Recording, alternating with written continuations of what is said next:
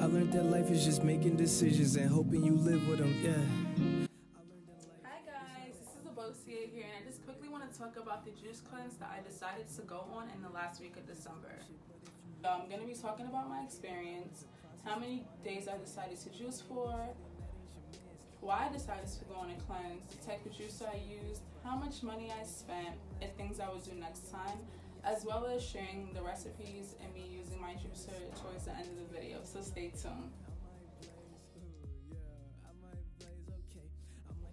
So I decided to go on a juice cleanse because my face was breaking out like crazy. I deal with acne and some scarring issues, but overall, like my face was just breaking out so much, and I know that depending on where my face breaks out, that's just due to me. That's just a sign from my body saying, okay, this is not functioning properly. So because I was breaking out along my jawline and along my cheekbones, that was just telling me like, oh well, your digestive system is not properly breaking down your food. You need to go on a cleanse. So I was super sluggish from overeating. Um, I was bloated. And I also, I've been on cleanses before, but they didn't last more than a day. So I wanted to challenge myself with this three day juice cleanse.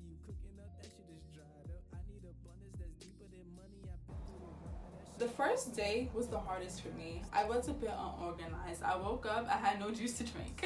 so I had to go outside, get some groceries, and I also had a lot of errands to run.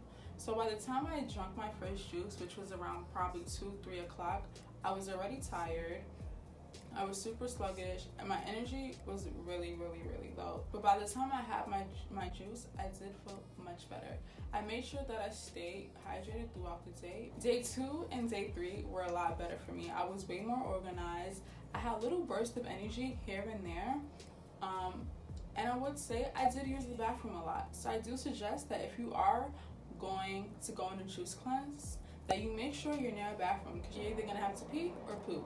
So I will also say by the time my juice cleanse end- ended, I was not bloated at all. Like I was kind of skinny. and then I will also say that um, any bumps that I had on my face, they were gone. Probably had like two or three bumps, but other than that, my skin was pretty clear of any new bumps. Um, I also felt more energized. I felt light and I felt empty. Not in the sense of empty like I didn't eat, but empty in the sense of like I didn't feel so much weight down from eating so much like cooked foods.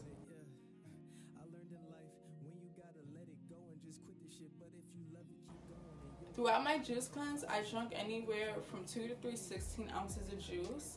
And then I also made sure that I drank three to four bottles of spring water.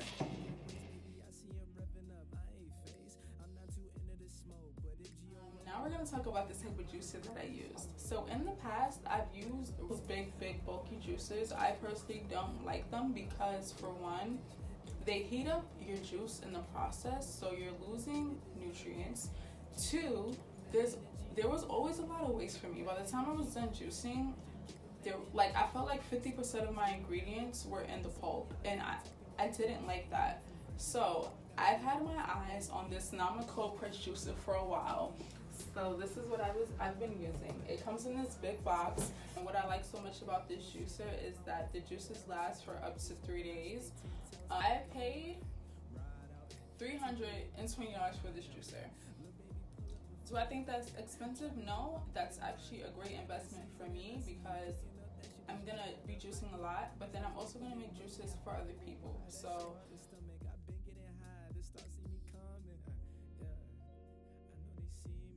later. But I spent anywhere from 15 to 25 dollars on ingredients for juices for that day. Another thing to take into consideration when when it comes to determining how much money you're gonna spend on juice is the type of fruits and vegetables you're buying. Are you buying fruits and vegetables that are going to give you high yields and low yields? And what that means is how much juice you're going to get from one fruit. So that's something to take into consideration when juicing and you want to determine how much money you're going to be spending.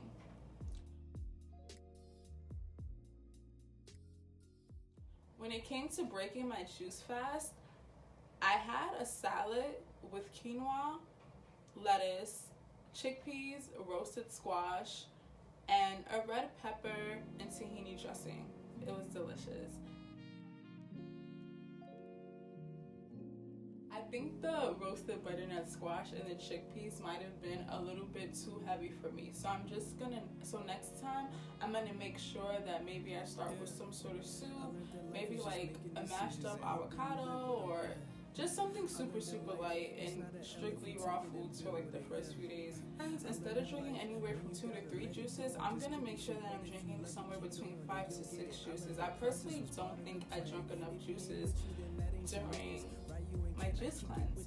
So next time I juice, I'm just gonna take into consideration the things that I have to do within that week. If I have too many things to do, then I'm not gonna do juice cleanse. But I know if, if I know it's gonna be a calm week for me, I'm gonna be doing a lot of work at home, I'll, I'll go on a juice cleanse so I'm not using too much of my energy. I'm also gonna make sure that I'm a lot more organized. As soon as I wake up, boom, I got a juice in the fridge. I don't wanna have to go get ingredients. But I gotta make a juice to drink in the morning. At least when I have my juices made, so when I wake up, I have a juice to drink, and then I can run my errands to give me my energy to start my day.